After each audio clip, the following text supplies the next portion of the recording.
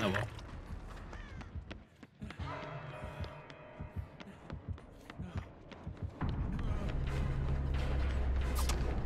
God, the pallet's already down. Okay, here we go. Round two.